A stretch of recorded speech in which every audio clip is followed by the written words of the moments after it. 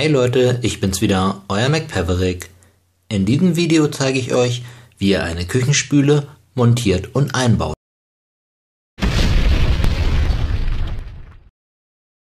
Im ersten Schritt übernehmt ihr die Maße vom Küchenkorpus, der unter der Spüle ist, und übertragt die Maße auf die Küchenarbeitsplatte.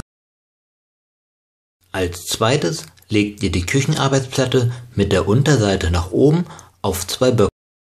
Da ihr zuvor die Maße vom Küchenkorpus auf die Arbeitsplatte übertragen habt, könnt ihr nun dementsprechend die Küchenspüle auf die Arbeitsplatte auflegen und die Maße der Küchenspüle nun auf die Arbeitsplatte übertragen. Wenn ihr die Spüle eingezeichnet habt, müsst ihr noch eine zweite nach innen versetzte Linie einzeichnen. Diese Linie ist der Abstand von der äußeren Kante der Spüle zur eigentlichen Montagekante. Hier beträgt der Abstand 1 cm. So schaut das Ganze dann fertig eingezeichnet aus. Die innere Linie wird dann ausgeschnitten. Bevor ihr die Spüle ausschneiden könnt, müsst ihr erstmal an jeder Ecke ein Bohrloch bohren, damit ihr da mit der Stichsäge ansetzen könnt. Nun sägt ihr vorsichtig die Spüle aus.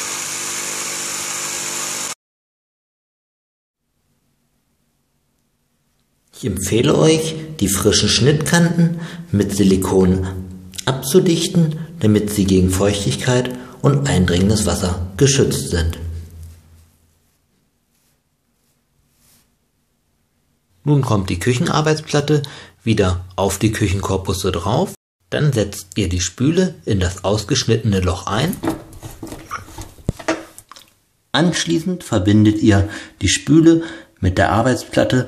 Dazu benutzt ihr diese Klemmen, die ihr hier verschraubt und schon ist eure Spüle montiert. Wenn ihr nun noch wissen wollt, wie ein Wasserhahn eingebaut und angeschlossen wird, kann ich euch dieses verlinkte Video hier empfehlen.